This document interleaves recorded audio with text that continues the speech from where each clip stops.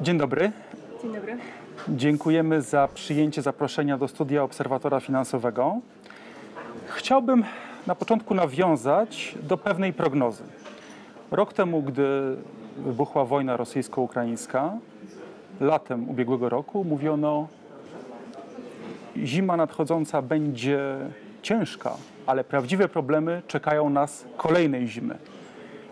Jaka więc zatem będzie następna zima? Czy rzeczywiście możemy spodziewać się problemów na rynku energii? Rzeczywiście poprzedniej zimy e, były takie obawy, że każda kolejna zima będzie kumulowała problemy z poprzedniej, że te problemy będą e, narastały. Z tego powodu, że poprzednie zimy jeszcze mieliśmy e, duży, w zapasach dużo dostaw gazu z Rosji. W tym roku dostawy gazu z Rosji są na poziomie e, 10%. Przepraszam, co z jednej strony jest, jest dobre, bo widać, że ta derusyfikacja e, postępuje, jeszcze nie do końca. E, No niemniej jednak nadal mamy trudności, żeby zastąpić ten e, gaz z Rosji. Stąd właśnie były te obawy, że że jeszcze e, w 2022 roku łatwiej było napełniać te magazyny, bo więcej tego gazu e, z Rosji e, płynęło, a w tym roku już może być gorzej. Aczkolwiek już mamy taką sytuację, już w sierpniu mieliśmy sytuację, że mieliśmy zapełnione magazyny w Unii Europejskiej na poziomie lekko powyżej 90%. E, To było dużo szybciej niż, niż Unia zaplanowała, rekomendowała czy, czy, czy wymagała, bo taki poziom miał być osiągnięty w połowie września czy, czy do końca września. Także e, z tak wysokim e, poziomem magazynów myślę, że mamy mniejsze obawy. Tylko, że magazyny energii to jest, to jest tylko około 1 trzecia zużycia w Unii Europejskiej. E, Więc, więc oczywiście i tak będziemy potrzebowali większych ilości i tutaj znowu będziemy liczyć na łagodną zimę, tak jak w zeszłym roku, bo w zeszłym roku de facto to nas uratowało. E, Bo, bo problemy w energetyce zimą w zeszłym roku i w tym roku największe, jakie mogły być, to właśnie przez to, że mogłoby no, ostatecznie zabraknąć gazu albo ceny gazu mogły być bardzo wysokie. E, I, e, I to w przypadku mroźnej zimy skutkowałoby większym zużyciem gazu na potrzeby ogrzewania itd. E, Ale w tym roku prognozy póki co też pok- pokazują, że zima będzie stosunkowo łagodna, więc no, możemy mieć nadzieję, że, że nie będzie takiego kryzysu, ale zawsze moim zdaniem lepiej bardziej pesymistycznie patrzeć i mocniej się przygotowywać e, i zakładać gorsze warianty e, i, i, być, być, być lepiej e, przygotowanym. Chciałem nawiązać do tego, o czym Pani wspomniała, do zjawiska derusyfikacji europejskiej energetyki. Czy ten cel jest możliwy, czy też, jak niektórzy twierdzą, jest to w dłuższej perspektywie utopia? W Polsce udało nam się e, odejść od e, surowców e, z Rosji i to w stosunkowo szybkim czasie. Pewne procesy zachodziły już przed pełnoskalową agresją Rosji na Ukrainę, ale jeszcze bodaj w 2015 roku mieliśmy e, 100% importu ropy z Rosji. Teraz w tym roku to, mm, to Rosja zaprzestała eksportu, e, przepraszam, e, ropy do, do Orlen, do naszej spółki e, i, i także już, już importu tego surowca nie mamy. To samo mieliśmy z węglem. Tutaj państwo polskie, rząd polski już dwa miesiące po rozpoczęciu wojny wprowadził embargo na węgiel, także były obawy, że to może jest za szybko, że może sobie nie poradzimy. Jednakże przy pomocy spółek Skarbu Państwa, które zaczęły importować większe ilości węgla, dla ciepłownictwa, bo to chodzi o węgiel dla ciepłownictwa, taki węgiel importowaliśmy z Rosji, udało nam się odejść od tego surowca i ściągamy go z innych e, krajów. E, Także jest tak z gazem. Z gazem e, tak czy inaczej plan polski był, żeby w październiku mm, e, rozpocząć funkcjonowanie Baltic Pipe, a do końca poprzedniego roku, 2022, miał wygasnąć e, kontrakt długoterminowy e, z Gazpromem na dostawy gazu. Także Polsce się to udało. W pozostałych krajach Europy wygląda to różnie, e, bo są kraje takie, które e, argumentują e, swoje problemy w odejściu od rosyjskich surowców brakiem dostępu do morza. To jest Węgry, Czechy e, i Słowacja. Także Austria do tej pory chyba ma 55% e, importu gazu z Rosji. Jest to kraj stosunkowo bogaty, więc trudno mi sobie wyobrazić, że nie mógłby zastąpić jakoś tego surowca. Poza tym są też kraje, które importują uran z Rosji i technologie jądrowe. Właśnie, bo e, czytałem, że na rynku e, uranu Rosja zwiększa swoje wpływy i zwiększa udział, e, udział w, tym, w tym rynku. Czy tak jest w istocie? Czy rzeczywiście tutaj Rosja wciąż pozostaje mocnym graczem? Tak, my w Unii nie mamy embarga na import uranu, mm, co uważam, że powinno być jeszcze e, wprowadzone, aczkolwiek przychody Rosji ze sprzedaży uranu są e, dziesięciokrotnie bodaj mniejsze niż e, z gazu czy z ropy, za- zatem, czy, czy nawet może ponad stukrotnie, więc, więc stosunkowo byłby to mniejszy efekt dla Rosji, a być może trudniejsze zadanie do zastąpienia tego uranu dla krajów korzystających z uranu z Rosji. Niemniej jednak to- nie jest dominujące Mm, to nie jest większościowy jakby import uranu do Europy, to jest około 20%.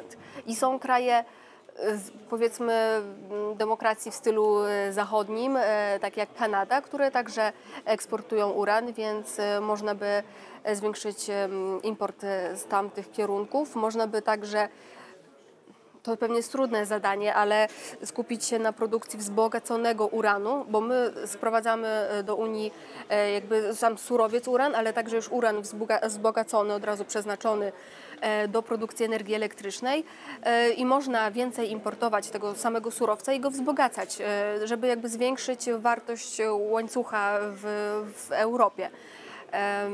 Nie, nie jest to jedyny surowiec tak naprawdę, którego eksport do Unii Rosja zwiększa, bo mówiliśmy o gazie, ale jeszcze chciałam tylko wspomnieć o y, ciekłym gazie, bo y, Rosja zwiększyła eksport do Unii ciekłego gazu, czyli do terminali LNG. I to są takie kraje jak Belgia, Hiszpania i Francja, które tutaj dominują w tym, y, w tym imporcie. Także no, embargo być może na to też y, powinno być nałożone. E, Czy energia atomowa stanowi e, nadzieję dla Polski, jeśli chodzi o rynek e, energii? Czy to jest potencjalne rozwiązanie, które przyniesie nam wiele korzyści? Ja, ja osobiście uważam, że w energetyce nie ma e, jednego złotego środka i nie ma takiego rozwiązania, które nie generowałoby innych wyzwań. E, Jest tylko kwestia na dany moment e, analizy i, i, i jakby przeważenia możliwości różnych rozwiązań. I, i rzeczywiście moim zdaniem, ale także e, z, ze strategii rządowych wynika, że energetyka jądrowa jako źródło, które pracuje stabilnie w podstawie, to jest coś, y, na co powinniśmy stawiać, gdy chcemy wycofywać y, elektrownie węglowe. E, URE, Urząd Regulacji Energetyki i PSE ostrzegają, y, że możemy liczyć się w przeciągu już nawet kilku i kilkunastu lat z niedoborami e, mocy. Zatem liczyć na kosztowny import e, od sąsiadów bądź być zmuszonym do, do, do wyłączeń, to jest e, czasowych energii, to jest najgorsza dla nas opcja, a także mieć wysokie ceny energii i e, wysokoemisyjną energię elektryczną, która będzie mm, e, tak naprawdę e, niekorzystnie działała na nasz wizerunek dla inwestorów, a my chcemy przyciągać inwestycje do naszego kraju. Jesteśmy krajem produkującym, eksportującym, także musimy mieć tanią energię i czystą energię. Stąd też wydaje mi się, że energetyka jądrowa na razie mówimy ta wielkoskalowa, pracująca w podstawie do produkcji głównie energii elektrycznej, jest e, korzystna w miksie z innymi rozwiązaniami, z odnawialnymi źródłami energii i jeszcze przez jakiś czas z elektrowniami e, węglowymi, ale już e, wygaszanymi i także z źródłami gazowymi potrzebnymi do, do stabilizacji. Więc myślę, że taki miks, tak samo jak dywersyfikacja e, kierunków importu, tak i dywersyfikacja źródeł wytwarzania to są e, konieczne kroki. Poza wielkoskalową energetyką jądrową mamy też małe reaktory, ale to już jest osobny temat, które także są e, warte rozpatrywania, szczególnie dla przemysłu. Rozumiem, że dywersyfikacja źródeł energii ma kluczowe znaczenie pod kątem bezpieczeństwa danego państwa, prawda? Czy o to głównie chodzi? Czy też inne czynniki również mają kolosalne znaczenie? Kilka czynników. E, Wydaje mi się, że mm, należałoby kombinować różne rodzaje źródeł do współpracy ze sobą. Przykładowo e, w Polsce coraz więcej instaluje się pomp ciepła do produkcji ciepła przede wszystkim zimą. E, To jest w momencie, gdy mm, mamy mało energii słonecznej, ale możemy mieć więcej energii wiatrowej, bo wiatr najczęściej najsilniejszy wieje zimą. E, Stąd powinniśmy te, te źródła ze sobą e, korelować. E, Z kolei energetyka jądrowa wielkoskalowa, tak jak mówiłam, powinna być jako takie jedno stabilne źródło w podstawie ciągle pracujące powinniśmy mieć, bo mamy dużo przemysłu w kraju, który nie może sobie pozwolić na, na, na, na odłączenia, na takie ryzyka. Em, Zatem wydaje mi się, że im więcej w koszyku mamy różnych rozwiązań, także prowadzoną decentralizację, tam gdzie jest to możliwe, klastry energii w Polsce są takie pomysły.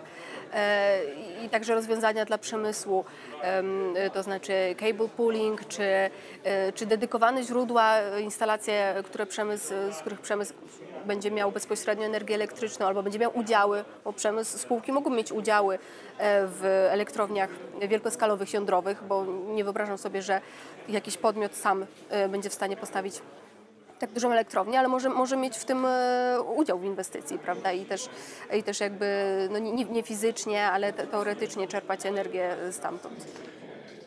Chciałem na chwilę wybiec w przyszłość. Czy alternatywne źródła energii zastąpią te tradycyjne? Czyli mówiąc, upraszczając nieco sprawę, czy atom zastąpi węgiel, a wodór gaz? Czy jest to możliwe i czy jest to sensowne? W naszym kraju, zgodnie z obecnymi planami, wydaje mi się, że tak to właśnie wygląda, że atom e, zastępuje węgiel e, stopniowo, już od 1933 roku mamy nadzieję. E, I, tylko, tylko, że niekoniecznie tak musi być w każdym kraju Unii Europejskiej, ponieważ być może dobrze, każdy kraj unijny ma pewną niezależność w budowaniu swojej strategii i, i drogi do dekarbonizacji.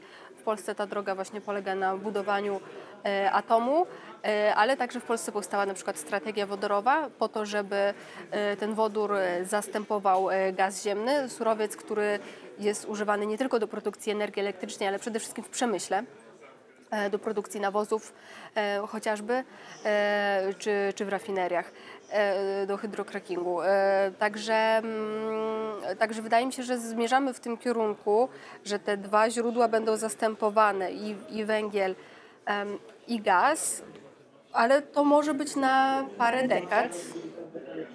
A co potem? Ale chciałem zapytać o dekarbonizację, bo czy nie jest czasami tak, że dekarbonizacja jest pewnym projektem politycznym lansowanym pod płaszczem zagadnień ekologicznych?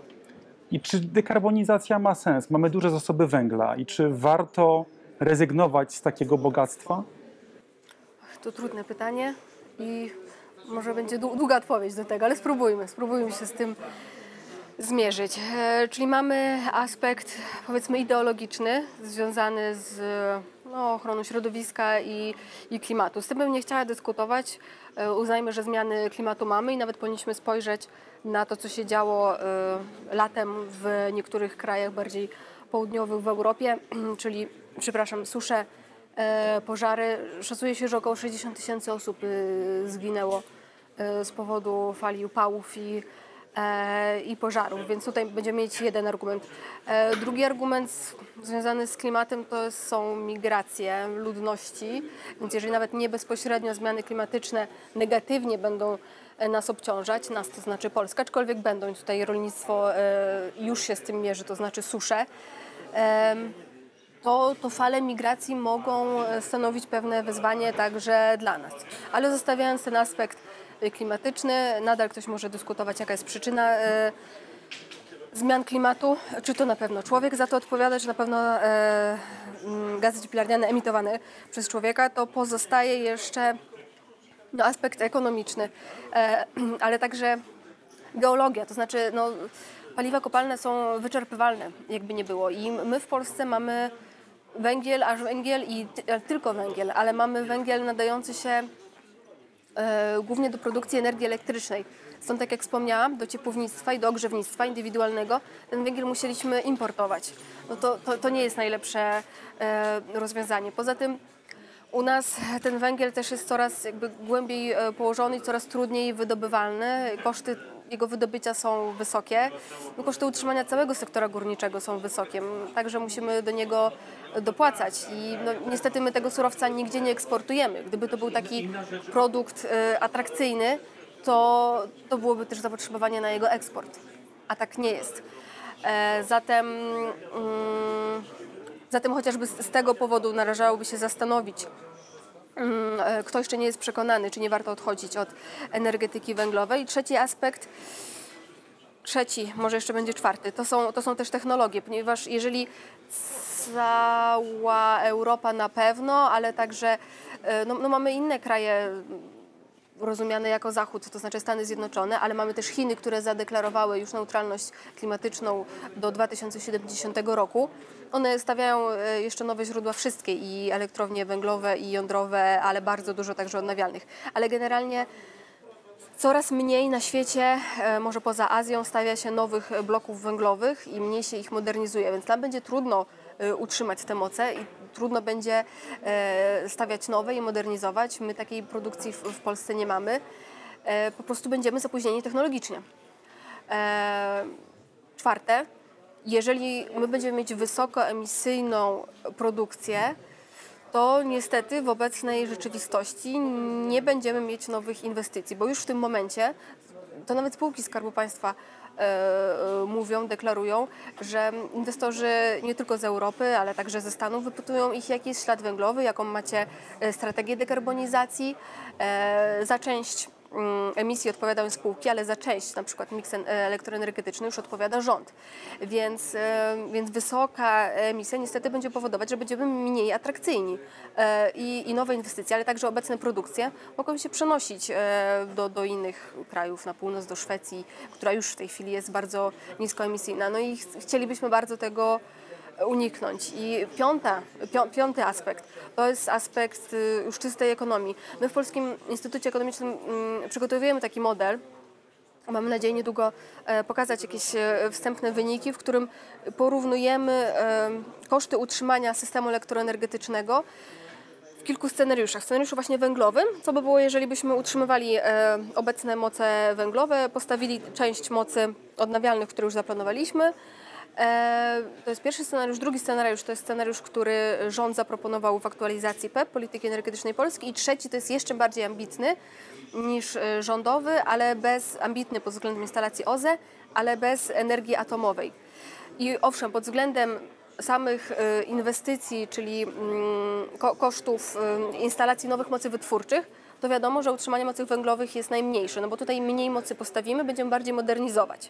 Ale musimy patrzeć w całości na system, to znaczy musimy też uwzględniać koszty wytwarzania, koszty operacyjne, koszty funkcjonowania tych elektrowni.